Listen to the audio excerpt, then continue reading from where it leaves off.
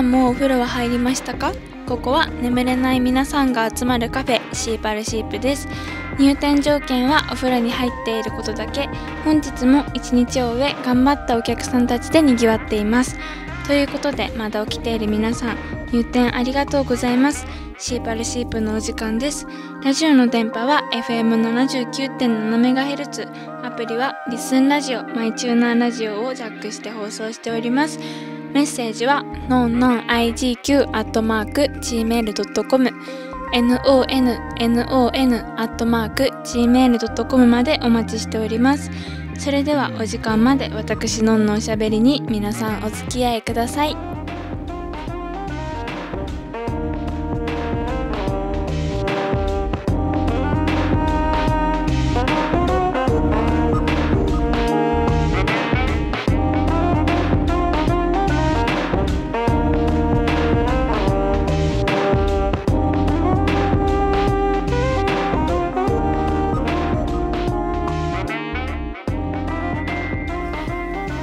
さんこんばんは。オーナーののんです。先週はお休みしてしまい申し訳ございません。今週先週いただいたメールは今週読んでいきますので皆さん今日も時間までお付き合いください。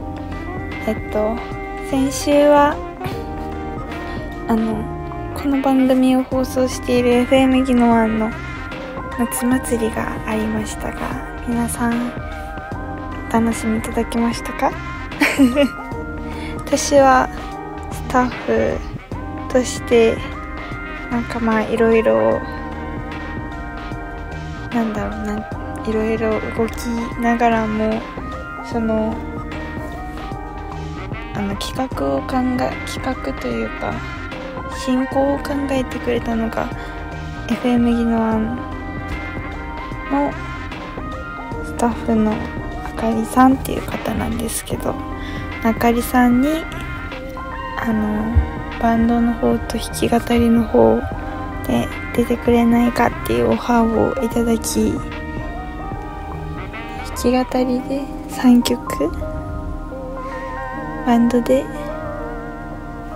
5曲かな？合計8曲くらいやってすごく楽しい夜でした。ちょっといろいろごたごたした部分もあったと思うんですけどすごく楽しい夜になったかなと思います。初めて私はもう FM ギの班にでアルバイトするようになってから初めての夏祭りでなんかどんな感じか最初わからなかったのでワクワクする部分もありながら逆にちょっと不安な部分もありながらちょっと混ざ混ざった気持ちで挑んだんですけどとっても楽しい夜になりました。私は二次会に行ってないんですけど行った皆さんどうでしたかね？みんな楽しそうだったからいいなと思ったんですけど来年も楽しみですね。それでは今回の第12夜の運の本日のおすすめは名前名前ですね。私なんでこのテーマにしようと思ったかというとあの充電器についてなんですけど充電器のあのタイプ別に名前がついてるじゃないですか。例えば口が USB の口ちょっと太めのやつになってるやつはタイプ A でそれよりちょっとちっちゃいのがタイプ B とかまあ B の形でちょっともうちょいちっちゃいのがマイクロ B とかあとはタイプ C と iPhone とかのライトニングくらいかな。あれってすごくなんか形が分かりにくいじゃないですか。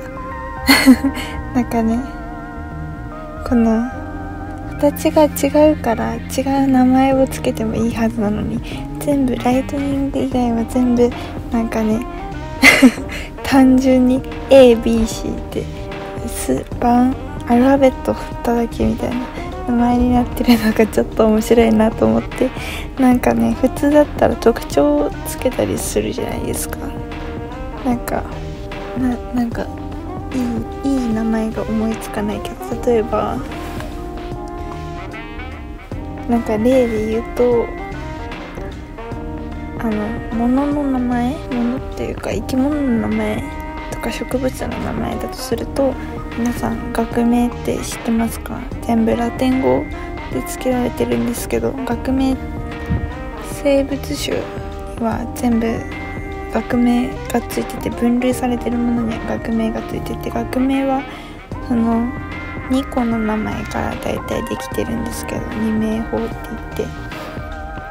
それが全部ラテン語から来てるんですね。それはなんかうーん大体つけた人の名前がちょっと入ってたりとか。名前があんまないんだっけ？ちょっと待って。あとは取った場所？日本とかだったらジャポニカとか。とはなんか特徴その植物とか生き物とかでなんか名前がついてるんですけどこの この何充電充電器？ケーブルか。ケーブルだけ。なんかなんか商品番号ついてるみたいな感覚で。面白いなっていう発見をしたのでこの名前にしましたちょっとなんかねこの この話をラジオでしようと思ってるんだって友達に言ったらなんかマニアックすぎないって言われたのでツボが私だけなのかもしれないけど ちょっと皆さんに共有したくてこの話をしようと思いました。なんかね名前とかみんなそう皆さんのラジオネームの由来とか聞きたいなと思ったのもあり私バンドアイデリックリリックっていうバンドをやってるんですけどそのバンドの名前は別に意味とかはなく 五感で私もノンって名前でやってるんですけどまあなんか昔からそう呼ばれてたからそう名乗ってるだけで。特に意味はないです。この名前に。なんかはがき職人さんって結構名前で名前に種類がありますよね。なんか例えば自分のえっと本名をもじってる人とか。まず名前から大喜利してくる人とか。あと自分が好きなものも名前にしてる人とか。なんか名前でなんかその人の人間性もわかるのでちょっと面白いなって思ってます。私も何回かいろんなラジオに送ったことあるんですけど、全部同じ名前で送ってるんですけど。でもなんかそろそろ名前を変えたいなって最近思い始めててでも最近ね全然ここ2年くらい送ってなくてなんかいいラジオネームないかな。なんかなんか面白いやつ。でもまあ言わないけどねバレちゃうから。決,、ま、決めても言わないけど。ラジオネーム。ラジオネームみんなみんなどうやって決めてるんだろうそれも知りたいな。で今回は4通ほどねいっぱいメールをいただいたのでちょっとじゃあ紹介していきます。ちょっと今日はいろいろ告知もあり時間が少しないのでちょっと秋で いきます。ラジオネーム沖縄大好きさん。かわいいのんちゃこんばんは。いつものんちゃんの声に癒されております。ありがとうございます。沖縄を愛する沖縄のラジオリスナー沖縄大好きです。テーマの前僕のラジオネーム沖縄大好きの由来について僕が最初にメッセージを投稿した番組は FM 沖縄さんのラジダブ。ラジダブ？ラジタブ？私も聞いてます。聞いてます。今も聞いてる。いいですよね。って送ったことある。しギャラリーにも2回くらい行ったことある。試しに投稿しようと思った際にどんな名前にしようと思い考えてみました。僕は創作エイサー現代版組踊りという舞台さらには子供の頃から沖縄の歴史が大好きというものもありそれを頭の中でまとめた結果最終的にたどり着いた名前が沖縄大好きでした。でもこの名前はいろんな人がよく使うので別番組で沖縄大好きって聞くと僕だってことを勘違いされる方が大勢います。なので以前からそうしているのですが改めて僕だってわかるようにメッセージを書くときはキャッチフレーズである沖縄を愛する沖縄ラジオリスナー沖縄大好きですと必ず入れています。ちなみにこのキャッチフレーズもラジサブがきっかけで誕生しました。へえですね。キャッチフレーズ。実は私よく聞いてましたよ。ラジダブの。えっとラジダブ聞いてる時に沖縄大好きさんよく聞くなと思ってました。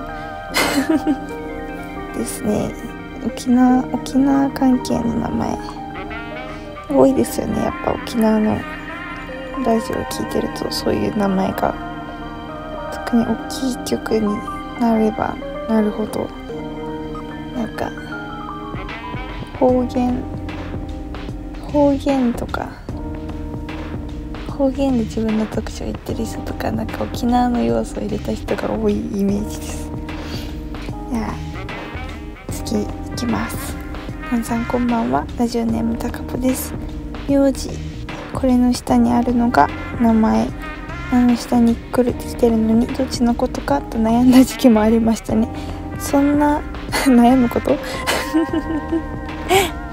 ファーストネームのことよね。だとすると〇〇タカだから一般的に棒をつけることからタカ棒短くしようとして短くしようと1文字外してタカボにしました。そうなんだ。タカ棒って伸ばす方もいますが気にしてません。ぼーっとしてるように見えます？わら そうなの？坊ちゃんの棒をつけて高坊さんなんだ。なんか高坊さんはよくラジオにもメールを送ってくださるしいろんな FM 機能案のえっと番組にもコメントよくしてくださる方なので高坊さんのラジオネームの由来が解明されましたよ。皆さん今。覚えて覚えてください。はい。じゃあ高尾さんありがとうございました。次です。やんぽうさんありがとうございます。こんばんは。して俺の本名は親が考えた名前ではありません。な名護のおばさんに反対されました。親の翼という名前を考えてくれたんですけど反対されたので姉が今の名前を考えたのですがまた親父さんが役場に出世届を違う字で手続きして提出してしまい現在の誰も読めない字になった。とさめでたしめでたし。本当だ今ねメールに本名が書いてあるんですけど確かに読めない。こういう読み方があるのかな？私が知らないだけかもなのかもしれないけど。すごいな。なんかそう言っていいか分かんないから言えないけど。すごいなんかこう読むんだって。なんか伝えきれない。こういうのあるんです。大出席届を違う字で手続きする。なんかこの本人にとっては迷惑な話ですよね。なんか後から聞かなかったらさわかんないけどさ。黙っといてよって思う。私だけかな。じゃあ最後のメールになります。んちゃんこんばんは。ヤン吉です。今夜のテーマ名前。自分のヤン吉の由来を話そう。誰も聞きたくないと思うがいやいやそんなことないです。コミュニティラジオを聴くようになって8年くらい。その頃からラジオネームがヤンブルヤンバルクイナでした。をさっき私が言ったように沖縄関係の。沖縄湾でまな吉さん。あまなみさんですね。と出会いまな吉さんが好きなキャラクター熊吉からあ熊吉がいてまなみさんがまな吉。そして番組でヤンバルクイーンのところヤン吉にしてはそうです。名付け親はまなみまなみんさんえわかんない。人ごめんなさい。まなみさんなんです誰も得をしない。情報だったんでしょうそうなのまなみさんがええー、ヤン吉さんの名付け親ちょうど明日ねまなみさんに会うので私聞いてみます。じゃあ皆さんありがとうございました。こんなにいっぱい皆さんの名前の由来を聞けて嬉しいです。じゃあ早速次のコーナーに行きます。それではコーナーの方に移ります。本日の店内 BGM このコーナーでは私の私の好きなアーティストや最近注目しているアーティストを紹介したり私の最近の音楽音楽活動の話をするコーナーです。まずそのえっと本日の店内 BGM を紹介する前にえっとちょっと私のバンドの方でお知らせがあります。まずえっと5月違うなんで5月7月何日だったっけな？7月7月えっと10 10違う7月9かな？7月えっとすいません。7月10日でした。7月10日にえっと私たちの初めてとなる「シャイニングロード」っていう曲のえっと MV が YouTube に載りましたので皆さんたくさん見てたくさん再生回数をいっぱいいっぱいいっぱい上げてもうもう再生回数めちゃくちゃ もう文章がダメだ。めちゃくちゃたくさん見てくださいということです。あの最初から気づいてるかもしれないんですけどちょっとね 今日今日金曜日に撮ってるんですけどちょっと鼻金だからお酒飲んじゃってちょっと頭が回ってない。ごめんなさい。えっとそしてそうライブがあるんですね。まずじゃあ日付が若い順からいきましょうか。7月28日日曜日。もうねもうあと2週間後かな？えっとライブハウスジグザグさんにて私たちの初めての主催ライブダウンオンボリューム1があります。初めて主催ライブをやります。えっと出演してくれるバンドのさんバンドの方がまずハウルさんとキャットベアーズさんサブフォアさんと私たちになっています。オープンが19時スタートが19時半チャージが1人1000円でプラスワンドリンクになっております。ともし予約とかされる方は私たちのバンドの DM までとアイデリースペースバンドで検索したら多分インスタが出てくると思うのでそこまでよろしくお願いします。初めて主催ライブをするのでちょっとどうなるか緊張してますが 頑張ります。このなんだっけチラシ？チラシじゃなくてなんて言うんだっけ？チラシじゃなくてチラシじゃなくて。であもう思いつかないからチラシってチラシっていう。このチラシを私のインスタにもえっとバンドのインスタにも多分載ってると思うんですけど私が作ったすごくかっこよくて可愛いチラシ。チラシっていうのがダサいな。が載っておりますので皆さんそれも見てください。で次ちょっと時間もないので急ぎ目で。えっと8月3日次の週の土曜日です。にえっとサマー・オブ・ラブっていう地獄車さんあの地獄車さん主催のライブに呼ば呼んでいただきました。えっと場所は浦添グルーブでオープンが20時30分スタートが21時チャージが1500円のワンドリンク別になっております。と出演者の方が地獄車さん主催の地獄車さんとラ・ウェストパンクスさんアナザースターティングラインさんと私たちアイドリクリリックになっております。皆さんこちらも要チェックです。来てください。じゃあそんなところで本日の店内 BGM を紹介します。ししゃもさんでバイバイ。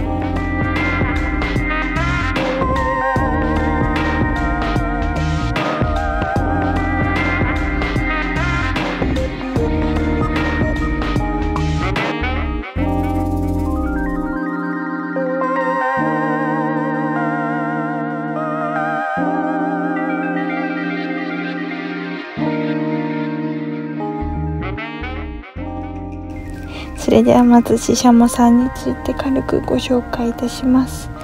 今日はすすいません時間がちょっとないので本当にメンバー紹介だけしますね。まずギターボーカルが宮崎あさ子さん。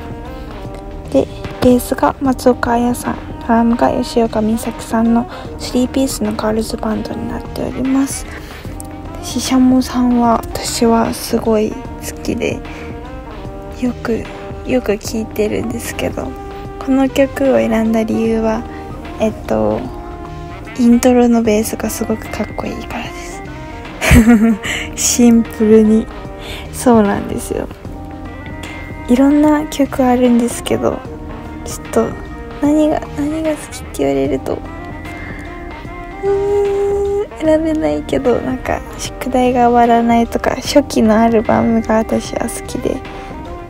ャモさんは高校生の頃からやってるバンドなのですごく歴が長くてその辺も次週また初の2週にわたって同じアーティストっていう次週また詳しく紹介しますね。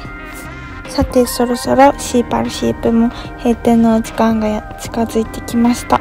皆さんも眠たくなってきましたか？本日ものんのんしゃべりに付き合っていただきありがとうございました。来週の本日ののおすすめは一番最初の記憶来メッセージは来週火曜日の12時昼の12時までに送っていただけると嬉しいです。とメールアドレスはのんのん IG アットマークのんのん IGQ アットマーク Gmail.com nonnonnon ig 数字の9アットマーク gmail.com までお待ちしております。それでは皆さんを夢の世界へお連れします。おやすみなさい。